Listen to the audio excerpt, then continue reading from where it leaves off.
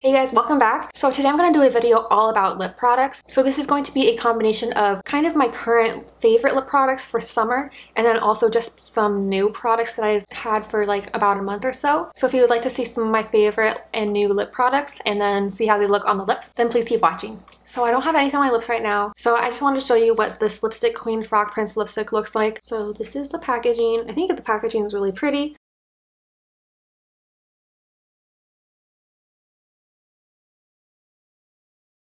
So it definitely just gives a pretty pink shade to your lips. It's not anything that's too pigmented. I like using this on days that I want to just have a really light, really natural lip look that's not too heavy. This is also something that could work even if I like wasn't wearing any makeup and I just wanted to put something on my lips real quick. Most lipsticks don't look good on me if I don't have makeup on the rest of my face, but since this one is very sheer, it works. And I do like the pink shade that it turns into. It just gives a nice little bit of pinkness to your lips. So I do like this product. It doesn't smell like anything, which is good. I'd rather have it smell like nothing than smell bad. That's that lipstick. So the next product is this one from Fresh. It's the Sugar Tinted Lip Treatment in the shade Honey, and this has SPF 15 in it. The sugar lip treatments are so nice from Fresh. I think that they're really good. It's a really pretty brownish nude, but it's not too dark. I think it's a really pretty color. These feel really, really nice on your lips. They're very moisturizing, very hydrating. They don't look patchy.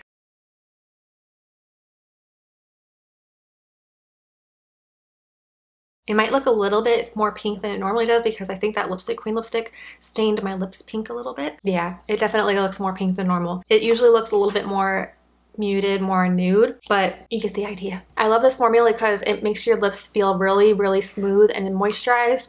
If you have chapped lips, it's definitely going to help repair your lips. It just feels really nice and hydrating without feeling sticky. It just doesn't make your lips look dry. So if you are someone that doesn't like to wear a really heavy lipstick, you just want something that is really like lightweight on your lip and you just want something that's going to be basically like a tinted lip balm, then I would recommend the Fresh Sugar Lip Treatments. And I personally really like this shade. Another product that is pretty new to me is from Clinique. It is this little guy. It's the Pop Liquid Matte Lip Color, and this one is in the shade Candied Apple Pop. It's kind of like a raspberry reddish pink shade. Doesn't smell like anything. Very dark.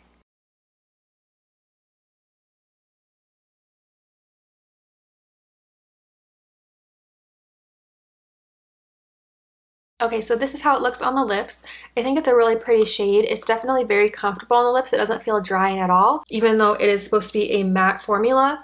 It looks pretty similar actually to the shade in the bottle, but it doesn't look that matte. I don't know if it's going to dry down more. It still looks kind of shiny. I don't know if it's going to dry down anymore, but it definitely doesn't like emphasize your lines or anything. The applicator was nice. Since this is a dark shade, just because of the shade, it is kind of difficult to line your lips. I mean, anytime I'm doing a shade like this, I have trouble, especially if I'm hungry and my hand is shaking, then I mess up. Or if I'm doing a ton of lip swatches and I get, you know, lazy. I don't feel like it's gonna dry down anymore. And I remember when I wore this before, I don't think it ever dried down completely to a like powdery matte finish. I think this is more like a comfort matte finish, but I think it's a really pretty color. I think the color is really pretty, especially this will be so pretty for Christmas time, the holidays, winter, you know, or fall. I think this will be like a gorgeous color for that time of year. I mean, you can wear this color any time of year, but personally for me, I like to wear those types of colors during that time of year. It's very comfortable, not drying or anything. I'll show you. It's definitely not transfer proof though.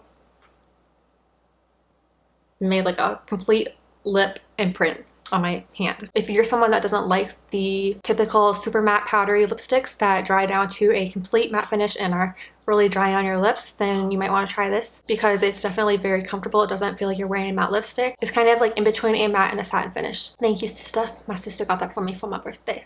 And then the lipstick queen lipstick my mama got me for my birthday. So thank you mama and thank you sister. I just touched up my lip area with some concealer because that dark shade kind of got my skin a little bit. Okay, so the next product is from Urban Decay. It's their Vice lipstick in the Comfort Matte shade or in the Comfort Matte formula.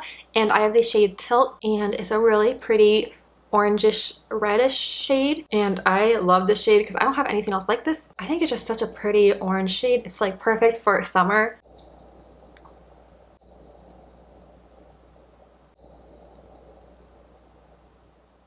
You could definitely tell that this is a matte formula.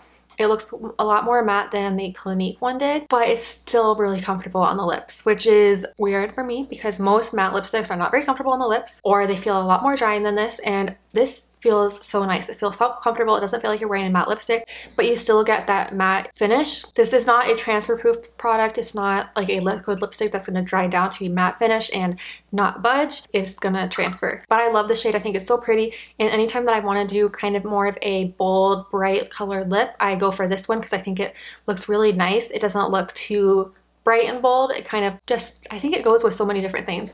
Like this is my favorite shade to use for a orangey red lip. Okay, the next product that I'm gonna show you guys is from Tarte. It's their Lippie Lingerie little, it's kind of like a chubby stick. I don't know what this is called, but it is a matte tint lipstick in the shade Pure. And you just pull the cap off and it twists up. But mine broke. I accidentally broke it but it still works. This is how it looks on my hand. So just like the Urban Decay one, it doesn't dry down matte or anything since it's like a typical lipstick. It's not a liquid one, but it still gives a matte finish. So this is really comfortable to wear on your lips as well, like the Urban Decay one.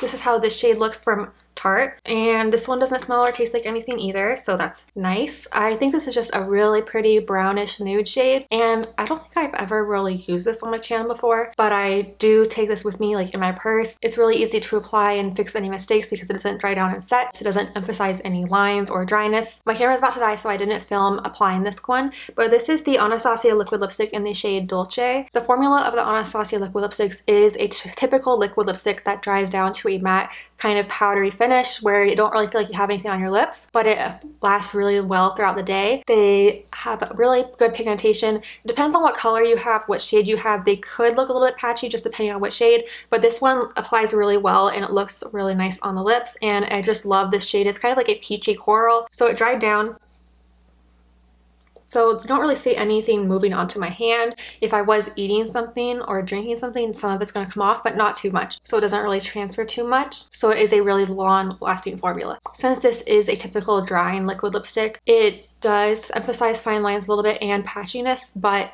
if you exfoliate your lips beforehand, it shouldn't be a problem. So yeah, I love this shade. And this is the last shade I wanted to show you guys. It's the ColourPop Ultra Matte Lipstick in the shade Beeper. This is definitely a dark shade for me since I have such fair skin, but I love ColourPop lipsticks. I think that they have a really good range of lipsticks. They have so many different shades and they're so affordable. I believe they're Ultra Matte Lips are $6, so this is $6 I think. And I think this is a really pretty shade. Definitely I'm going to wear this a lot during the fall and winter months. And it does dry down to a powdery matte finish. Even though it is a liquid lipstick that dries down and is matte, it's still very comfortable on the lips. It doesn't feel too dry and it doesn't emphasize your lines and your lips too much. And same thing with like patchiness or any dry spots on your lips. It doesn't emphasize it too much. And if you do have dry areas, you could just exfoliate beforehand. So those are all the lipsticks I wanted to share with you guys. These are just some new lipsticks in my collection collection that I got in the past couple months that I haven't really talked about all of them. Some of them I've showed you guys before, but some of them I haven't. And also these are some of my favorites that I've been really liking to wear over the summer. So I just wanted to share some of my current favorite lipsticks. Let me know in the comments what lipsticks you've been liking to wear this summer. And I hope you enjoyed watching. Thank you so much for watching and I'll see you in my next video. Bye!